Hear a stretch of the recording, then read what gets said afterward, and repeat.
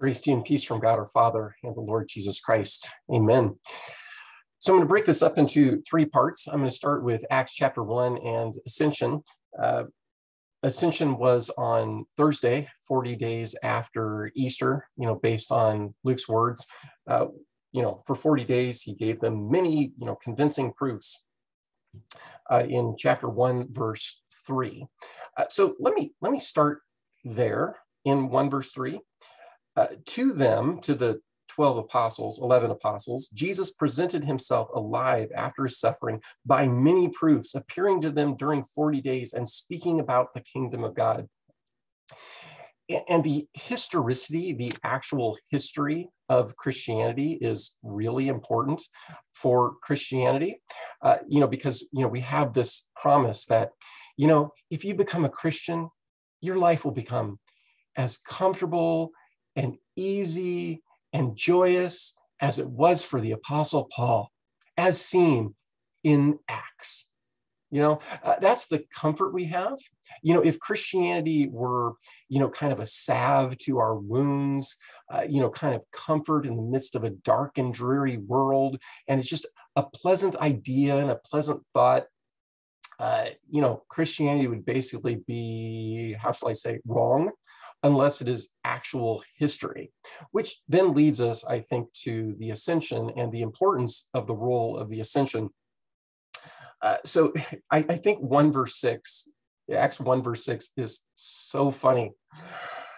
Uh, when they had come together, the 12, the apostles, asked, Lord, will you at this time restore the kingdom to Israel? Now, I, I know what you've been told, you know, that that the Jews, all they wanted was an earthly kingdom. And this is one of my pet peeves. Uh, so the basic expectation, you know, there were a lot of ex- expectations about, you know, the messianic kingdom and all that kind of stuff.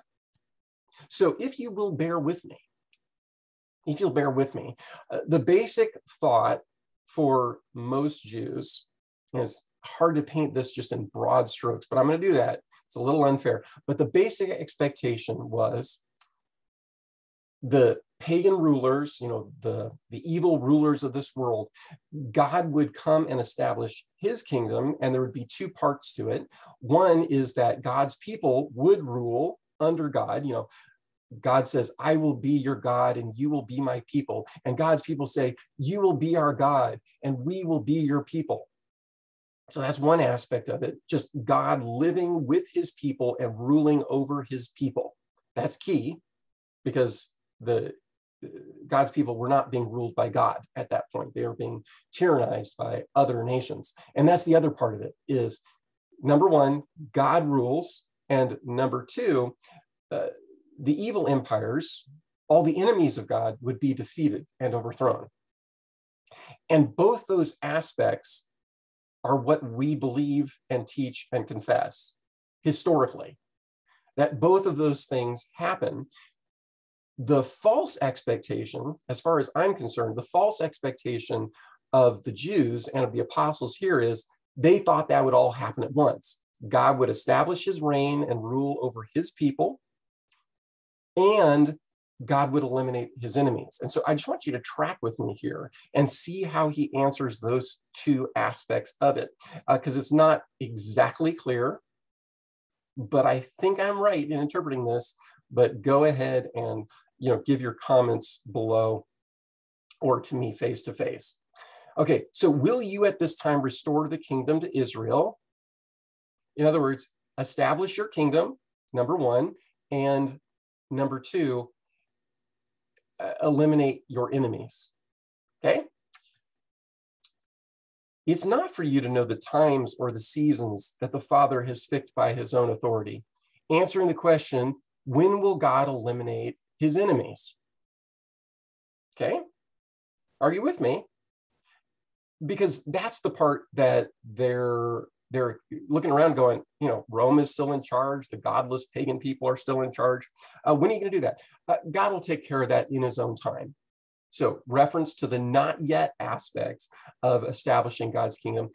God will eliminate his enemies on the last day when he decides to do so. Hopefully, now but apparently not. 1 verse 8 but you will receive power when the Holy Spirit has come upon you, and you will be my witnesses in Jerusalem and in all Judea and Samaria and to the end of the earth. That's the answer to part one of the Jewish expectation and our expectation, God establishing his rule and his reign, but he's doing it kind of behind enemy lines you know god lands behind enemy lines and then just kind of slowly through you know subterfuge through you know things like word and sacrament ministry he establishes his rule and his reign here on earth through the witness of his apostles and regarding the historicity of this Matthew, uh, Matthew, Acts 21 and 22. I think this is vitally important, again, to the historical basis of our faith. So one of the men, uh, this is uh, Peter replacing Judas, and it's the qualifications for an apostle that I, I think is really important. So one of the men who have accompanied us during all the time that the Lord Jesus went in and out among us, beginning from the baptism of John, that I think is a reference to Jesus's baptism, until the day he was taken up from us, that's the ascension, one of these men must become with us a witness to his resurrection. That is to say, the books of the New Testament are written by people who witnessed Jesus's entire ministry from his baptism all the way to his ascension. These were eyewitnesses.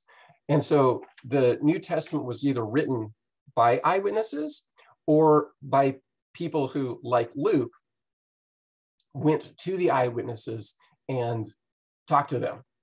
Okay. Uh, Mark apparently, supposedly, we're told by church history that he got his information from Peter.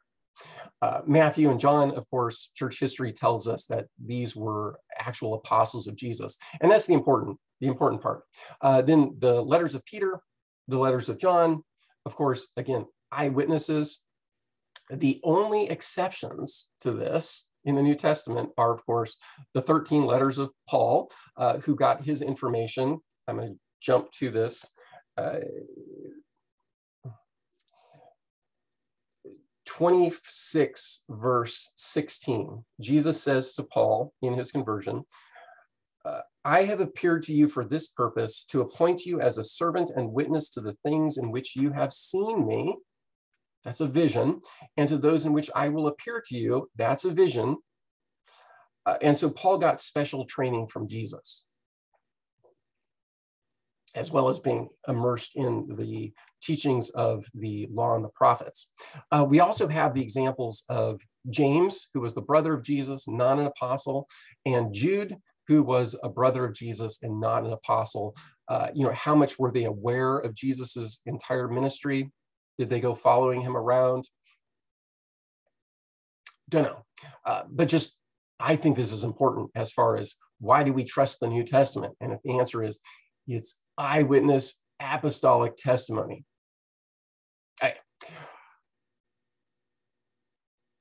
Now, uh, let me go back to the ascension. You know, uh, Sunday, Sunday we're uh, you know, you're supposed to celebrate the ascension, you know, on the day of the ascension, you know, the Thursday before the seventh Sunday of Easter.